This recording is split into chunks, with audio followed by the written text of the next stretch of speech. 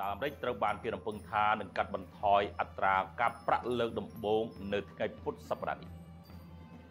ធនាគារកណ្ដាលអាមេរិកកំពុងត្រៀមខ្លួនប្រកាសពីការកាត់បន្ថយអត្រាការប្រាក់ជាលើកដំបូងក្នុងរយៈពេលជាង4ឆ្នាំកន្លងមកនេះនៅថ្ងៃពុធទី18ខែកញ្ញាខាងមុខនេះដោយគេរំពឹងថាក្រុមអ្នកបង្កើតគោលនយោបាយនឹងជជែកគ្នាអំពីទំហំដែលត្រូវកាត់បន្ថយអត្រាការប្រាក់នេះនៅថ្ងៃនោះតែម្ដង នេះយោងតាមការចុះផ្សាយដោយសាមៀន CNA មន្ត្រីជាន់ខ្ពស់នៅធនាគារកណ្ដាលអាមេរិករួមទាំងលោក Jerome Powell ផង បានបង្ហើបឲ្យដឹងនៅប្រមាណសប្តាហ៍ចុងក្រោយនេះថាការកាត់បន្ថយអត្រាការប្រាក់នឹងមកដល់ក្នុងខែកញ្ញានេះ ដោយសារអតិផរណាបានរំកិលចុះទៅរកគោលដៅរយៈពេលវែង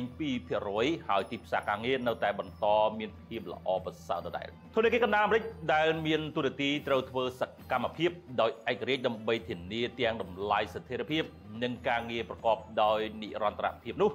បានសង្កត់ធ្ងន់ជារឿយៗថាធនាគារនេះនឹងសម្រេចចិត្តពីការកាត់បន្ថយអត្រាការប្រាក់ដោយផ្អែកលើទិន្នន័យសេដ្ឋកិច្ចប៉ុន្តែការកាត់បន្ថយអត្រាការប្រាក់នៅថ្ងៃពុធសប្តាហ៍នេះនៅតែអាចធ្វើឲ្យលោក Jerome Powell ឈឺក្បាលចំពោះបញ្ហានេះ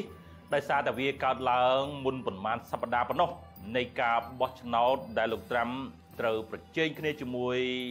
អនុប្រធានាធិបតីអាមេរិកបច្ចុប្បន្នគឺលោកស្រី Kamala Harris មានការរំពឹងថាក្រុមអ្នកបង្កើតគោលនយោបាយរបស់ធនាគារកណ្ដាលអាមេរិកនឹងពិភាក្សាគ្នានៅថ្ងៃអង្គារនិងថ្ងៃពុធសប្តាហ៍នេះ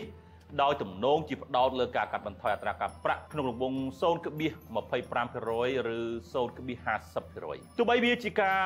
បញ្ចុះក្នុងកម្រិតទាបក៏ដោយតែវាជាការកាត់បន្ថយអត្រាការប្រាក់លើកដំបូងរបស់ខ្លួនចាប់តាំងពីខែមីនាឆ្នាំ2020មក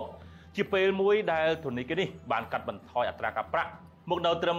70%ដើម្បីគ្រប់គ្រងដល់សេដ្ឋកិច្ចអាមេរិកដែលរងគ្រោះដោយសារជំងឺ Covid-19